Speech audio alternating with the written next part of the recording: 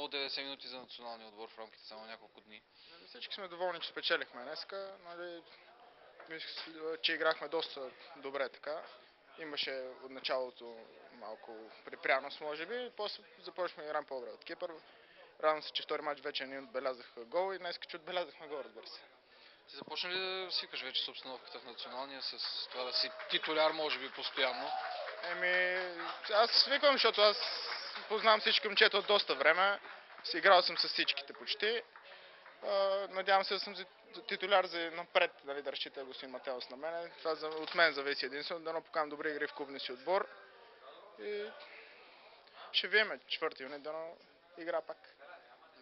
Публиката, какво ще кажеш за нея? Очакваш ли толкова много българи при гостуване? Еми, много съм приятно изненадан. Радвам се, че нали, в чужбина ни подкрепят. Те бяха даже повече от кипърците.